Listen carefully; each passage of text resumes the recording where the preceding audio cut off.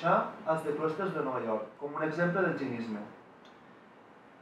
Abans de començar la nostra exposició, ens agradaria fer un petit aclariment, que és que aquesta exposició no l'hem plantejada des del punt de vista habitual, estudiant el monument medieval en si, sinó que l'hem presentat o estudiat des de l'òptica de la història social del col·leccionisme estudiar la transferència de peces artístiques d'un àmbit europeu a un altre àmbit, en aquest cas, en el nostre cas, als Estats Units.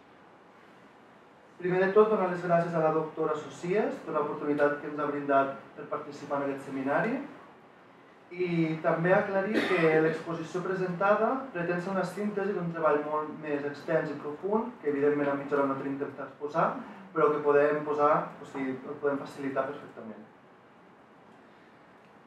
Un dels primers problemes en què ens vam trobar a l'hora de, de realitzar aquest estudi va ser un problema bibliogràfic. Com que la recerca es centra en un àmbit dels Estats Units i sobretot de França o de la Catalunya Nord, molta de la bibliografia que necessitàvem consultar es trobava als Estats Units o Nova York, en aquests dos nuclis. Tot i així, val a dir que a casa nostra hi ha importants aportacions perquè fa la història social del col·leccionisme que ens han servit a l'hora de realitzar el nostre discurs.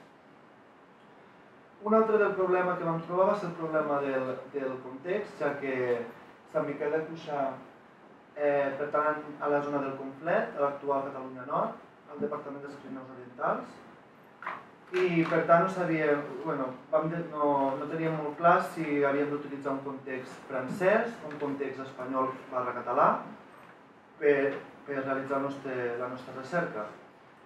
Eh, com bueno, molta gent sabrà, el 1658, a causa del Tractat dels Pirineus, la zona del complet de la Catalunya Nord va passar a ser administrativament francesa.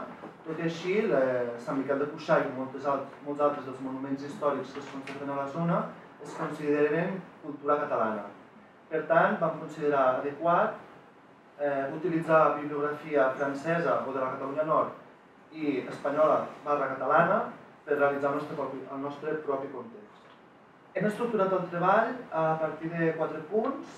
El primer de tot és el naixement d'un nou gust per l'art medieval als Estats Units, col·leccionistes, museus, universitats, exposat per la meva companya Rita. Tot seguit, eh, jo mateix exposaré eh, les causes, bueno, el que podríem considerar el context històric, les causes històriques de la devastació de l'art religiós europeu, així com introduirem el terme de l'egenisme. I finalment la meva companya Sílvia us presentarà la figura de George Gray Bernard, i la creació dels de clòsters com un exemple de genisme. El col·leccionisme d'art medieval als Estats Units és un fenomen contemporani, fet fins i tot a Europa és relativament recent. Tot i així podem trobar algun precedent a mitjan segle XVIII, com és el cas de l'escriptor i col·leccionista anglès Horace Walpole, encara que potser és més conegut per col·leccionar obres antigues, però també tenia una col·lecció d'obra medieval força important. Però en general, en aquests moments, encara es tractava d'una activitat eh, poc cultivada i reduïda a una, a una elit molt, molt reduïda i no va ser fins a principis del XIX que l'interès per l'art medieval va començar a créixer com a conseqüència del Gothic Revival o neogòtic, que fou des dels seus orígens un moviment que trobava les seves arrels a novel·les literàries del mateix Walpole i d'altres autors més coneguts com Walter Scott. Eh, llavors, fins les darreries del segle XIX, Amèrica no va mostrar gaire interès pel col·leccionisme medieval eh, l'edat mitjana no semblava, i el Marcos semblava, eh, jugar cap paper en la història d'aquesta nova nació. Els americans, no, doncs després d'haver-se alliberat d'Anglaterra al segle XVIII, eh, no tenien aparentment cap motiu per sentir nostàlgia doncs, d'un doncs, passat que havia significat servitud i injustícia. I més aviat al contrari, es van interessar doncs, per l'arquitectura de la democràcia, les versions neoclàssiques dels prototips grecs, el modernisme, i a més també l'art medieval evocava excessivament el catolicisme i els fundadors americans i els primers historiadors doncs, eren liberals, demòcrates i protestants. Uh, I o sigui, l'escultura medieval monumental, que era fonamentalment arquitectònica, quan arribava als Estats Units doncs, estava divorciada del seu context original i això la feia aparèixer doncs, fragmentada, incompleta i això no acabava de satisfer el públic americà. O sigui que la concepció renaixentista de l'edat mitjana com un període doncs, de foscor, de barbàrie, es, semblava que es confirmés no? amb aquests fragments d'escultura monumental medieval i alhora que també l'anonimat d'aquestes peces doncs, frustrava els col·leccionistes que els buscaven eren peces en un autor perquè es venien molt millor. I, tot i algunes excepcions, la indiferència respecte a l'art medieval continua fins les primeres dècades del XX, quan, això és un moment clau, la influència combinada d'una nova fase del Romanesque and Gothic Revival, que podem veure en els edificis, com veieu en pantalla, de Henry Hobson Richardson, en aquest cas és de Trinity Church de, de, Trinity Church de Boston, i, uh, i de Stanford White, un altre arquitecte, i la publicació molt, molt important de l'obra de Henry Adams de 1904, Mont Saint-Michel en Chartres. I aquests dos factors, entre altres, doncs, comencen a crear un gust per l'art medieval als Estats Units. I un dels primers passos en aquesta direcció fou la impressionant col·lecció d'escultura medieval d'Isabella Stewart Gardner, que fou construïda a Fenway Court, a la seva casa, i s'inicia el 1896 i s'obre públic el 1903. I més que una col·lecció d'art medieval per se, el que era més aviat era com un tour de forç de decoració, bàsicament doncs, per donar un aire sofisticat i suggerent a la seva casa. I durant el segle XX ja, doncs, els, els primers passos importants a col·leccionisme d'art medieval els veiem en les adquisicions del Metropolitan Museum of Art, eh, quan Joseph Pierpont Morgan eh, presidia el Consell d'Administració i altres museus que faran també compres d'art medieval importants doncs són, per exemple, el Boston Museum of Fine Arts, el William Highsport Museum de la Universitat de Harvard, el Philadelphia Museum of Art, i també serà molt important la fundació el 1904, tot i que s'obre el 1909, de la Hispanic Society of America, de la mà d'Archer Newton Huntington. Llavors, arribem a la dècada dels 20 i el col·leccionisme d'art medieval doncs, veiem que ja s'ha vingut notable als Estats Units. I seguint el camí d'Isabella Stewart Gardner, doncs, diversos magnats en aquest, eh, participen en aquest moviment i jugaran un paper decisiu en la formació de col·leccions medievals d'Amèrica. I a part de, de Morgan doncs, tenim a, noms en pantalla, doncs, William Randolph Hearst, Henry Walters eh, i també és molt important que el, relació al nostre objecte d'estudi, que el 1925 eh, John Dixon Rockefeller Jr. atorgà al Metropolitan els diners eh, per comprar i mantenir la major part de la col·lecció d'escultura medieval acumulada per George Gray Barnard, The Barnard Collection, que fou la més extensa en el moment a Amèrica i de que la meva, la, la meva companya Silvia us parlarà amb més detall. I des dels anys 20 i 30 doncs, s'han doncs, reunit eh, importantíssimes col·leccions d'art medieval en molts museus arreu dels Estats Units i a part dels que he mencionat anteriorment, doncs tenim les, les col·leccions als museus de Toledo, Toledo, Ohio, no Toledo, Cleveland, eh, Detroit i col·leccions eh, privades també obertes al públic, com doncs, per exemple el Glencairn Museum eh, Green Athens, Pennsylvania, i les importants col·leccions eh, dels museus universitaris. I acabo amb això dels museus universitaris per explicar que tot aquest panorama que he fet, una repassada així supersintètica es juxtaposa a un interès per l'art medieval en l'àmbit acadèmic per part de les universitats americanes, especialment Harvard i Princeton, que seran claus en el desenvolupament de la historiografia medieval nord-americana, de la història de l'art en general, i en aquest eh, foment de l'entusiasme per l'art medieval a principis del segle XX. I durant les primeres dècades d'aquest segle tindrà lloc doncs, una proliferació de monografies i de tesis doctorals sobre aquest període i el seu art. I en aquesta taula eh, podem veure doncs, els medievalistes americans més importants que surten principalment, si les tesis que veieu aquí, surten de Harvard i de Princeton i les seves obres més representatives. Tenim a Henry Adams, que l'he citat abans, que seria aquesta primera generació, formada a Alemanya. Després tenim a Chandler Rafton Post, a Arthur Kingsley Porter i per últim a Walter William Spencer. Cook. Ai, Cook. Sí, sí, sí. Aquest és el nom complet, Cook. Exacte, sí, sí, sí. Vale. I aquest, les obres que tenim aquí apuntades. I llavors, si ens fixem en això, a mode d'incís, molt ràpid, eh, veiem com totes aquestes iniciatives, sobretot les que daten abans de la dècada dels 30, que aquí hi ha algunes, hi ha algunes que són més tardanes, eh, doncs d'alguna manera relativitzarien la postura d'Erwin Panofsky i dels seus seguidors que marcaven el tret de sortida d'aquest interès per l'art medieval als Estats Units a partir del conflicte nazi i l'arribada d'historiadors alemanys exiliats. Tema molt més, tractat molt més extensament per Caitlin Brush. I, vist tot això, la idea bàsica, veiem que té lloc una apropiació i descontextualització, tant material com intel·lectual, del passat medieval europeu per part dels Estats Units, com una manera de legitimar-se com a nació i com a potent nucli econòmic, cultural i intel·lectual.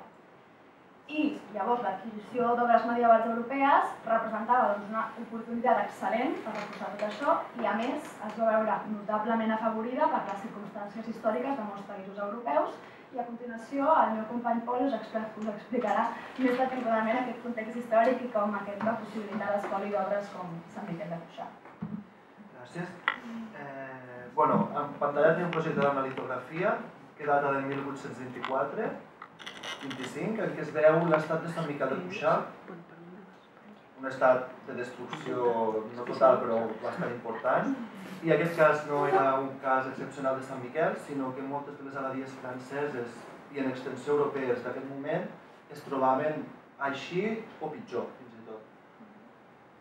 Per què es troben en aquesta situació? Pues, bàsicament hem, hem introduït pues, tres causes importants o essencials que podrien explicar el deteriorament, el deteriorament del patrimoni artístic francès i europeu. La primera d'aquestes causes serien el que nosaltres hem considerat problemes interns del monestir. Això vol dir que els monjos dels monestirs, per autofinançar-se, començaven a vendre patrimoni artístic que, que, que custodiaven amb, als monestirs. Eh, el segon, el segon la segona causa que explicaria aquest deteriorament seria els conflictes bèl·lics com a destructors del patrimoni. Hem de parlar, evidentment, de la Revolució Francesa. La Revolució Francesa va afectar tant a grans ciutats franceses com a nuclis rurals, com és el cas de Sant Miquel. Això va ser així perquè els pagesos que habitaven les zones rurals veien d'aquests monestirs medievals un símbol de la repressió antiga la qual se volien alliberar o s'estaven alliberant i per tant va començar la destrucció sistemàtica de monestirs i abadies, fet que els antiquaris d'aquest moment, els antiquaris francesos d'aquest moment, van aprofitar per agafar obres i posar-les en circulació al mercat d'art. Així com els veïns dels pobles, dels pobles de, que estaven a prop agafaven peces dels monestirs per ús quotidià. Tot i així, com he especificat el problema del context i de la geografia de Sant Miquel, que es troba una, entremig de, de, de dos països, es va veure afectada per dos conflictes que aparentment sembla que, que estiguin aliens a la zona de la Catalunya Nord, però que tenen molt a veure, com són la Guerra Gran i la Guerra del Francès. Eh, es van veure afectats per la seva causa, per la seva situació geogràfica, perquè bàsicament la Catalunya Nord és una zona de pas entre Catalunya i la resta d'Espanya i França. I per tant, doncs, eh, aquests dos conflictes que això, que aparentment sembla que no tinguin relació, van ser també uns detonants per tal de, perquè es pogués destruir el patrimoni artístic de la Catalunya Nord. Per últim, a finals del segle XIX i principis del XX, la burgesia americana va tenir una de les seves edats d'or, com tots sabem, els feliços anys 20. Això va fer que la burgesia americana comencés a créixer i necessités i volgués obres artístiques d'Europa. Marxants i col·leccionistes d'art van viatjar al territori europeu per agafar peces artístiques, o sigui, es van aprofitar clarament d'aquesta situació tan desastrosa de l'Europa del moment, tan política com social, per, eh, per això, per emplenar els seus museus, exacte, perquè clar, o sigui, estem en un moment en què als Estats Units, com ha explicat la, la meva companya Rita, s'estaven començant a crear les primeres institucions dedicades a l'estudi de l'art medieval. Per tant, aquests museus s'havien d'emplenar d'alguna cosa, ja que als Estats Units d'art medieval no n'hi ha. I viatjaven a aquestes zones europees per, per expropiar patrimoni artístic. L'enginisme és un adjectiu encunyat per Lord Byron el 1812, fent referència a Lord Elgin, eh, criticant la seva actuació quan va traslladar els marbres del el fris del Partenó a Anglaterra bueno, en imatge veieu quan Lord Elgin va arribar a Anglaterra amb totes les escultures i les peces artístiques. Eh, posteriorment aquest terme va ser utilitzat per Marcel Durliat precisament en referir-se al cas d'espoli de Sant Miquel de Cuixà i per tant és molt interessant veure com un gran historiador i medievalista va utilitzar aquest terme ja en el nostre, en el nostre objecte d'estudi així com també va ser utilitzat per Merino de Cáceres i Martínez Ruiz. L'espoli es tracta d'un vocable marcadament ambigu i imprecís. que tan sols expressa d'una forma molt general la destrucció i el robatori del patrimoni artístic sense especificar característiques ni circumstàncies. Per tant, hem considerat que l'enginisme és un mot molt més sutil que, mascarat com una activitat artística i cultural, en el seu transfons descansa un menyspreu per la memòria històrica dels pobles que saquegen, així com una ambició per apropiar-se d'un passat aliè, i sobretot destaca pel seu, per la seva, per la seva característica fonamental és un valor tematístic també. Així doncs, havent introduït el terme de l'enginisme, la meva companya Sílvia us, us presentarà George Bernard i la creació dels The Cloisters com un exemple d'aquest enginisme. Jo m'he centrat en el cas concret del col·leccionista i escultor George Ray Bernard com a principal creador del The Cloisters. Com ja han explicat els meus companys, eh, l'interès que té als Estats Units a principis del segle XX per al comerç d'obres d'art medieval procedents d'Europa desenvolupa un mercat d'aquestes peces que tindrà un gran interès pels col·leccionistes d'aquest moment, entre els quals ens trobem eh, amb George Gaiva, relacionant-se amb el mercat d'art de peces procedents del, del monestir de Sant Miquel de Cuixà. Aquí podem veure les seves dades biogràfiques a l'Acadèmia de Belles Arts de París, formant-se en escultura. Aquests anys de formació van ser molt durs per Wagner perquè va viure amb una precarietat absoluta econòmica. I això el va portar a acceptar una sèrie d'encàrrecs escultòrics que li van proposar. Paral·lelament a aquests encàrrecs eh, es va començar a interessar en el mercat d'art de peces medievals concretament i eh, bueno, o sigui, aprofitant la situació del midi francès en aquell moment. Això el portarà a viatjar a Prada el 1907, que és una localitat on, on se situen un, un conjunt de complexos monàstics, entre els quals es troba Sant Miquel de Cuixà, i del qual, amb, amb el suport de l'alcalde de Prada, va adquirir 52 capitells, 27 bases i 9 arcades, pagant un equivalent a 3.000 dòlars. En aquest moment comença, Warner comença a contactar diferents museus eh, nord-americans i escriu directament una carta al Metropolitan Museum of Arts anunciant-li que havia comprat aquestes peces i dient-li o proposant-li de, de vendre-li algunes, algunes d'aquestes obres o tot el, el conjunt pel preu de 50.000 dòlars. Però Warner va tenir problemes en el moment de, de l'exportació d'aquests elements arquitectònics perquè quan va intentar mm, exportar aquestes peces, eh, el subsecretari de Belles Arts de França va promulgar una llei restrictiva de, de fragments dels complexos històrics eh, de, bueno, francesos. Llavors, finalment, Barnard cedeix i dona les peces a la ciutat de Prada eh, amb el, eh, a canvi de quedar-se altres peces procedents del monestir de Sant Miquel de Cuixà i d'altres monestirs de la zona. Aquí podem veure Barna, una d'aquestes peces que es van portar. I bé, un cop aquestes peces van arribar a Nova York, eh, Barna les exposa, les exposa al seu taller de Fort Washington Avenue, que en un moment va anomenar The Cloisters i posteriorment va canviar el nom a The Barna's Cloisters i que es va inaugurar el 14 de desembre del 1914. En aquest moment, algunes entitats es van interessar en comprar alguna d'aquestes peces, com és el Museu de Belles Arts de Boston i el Museu d'Arts de Filadèlfia.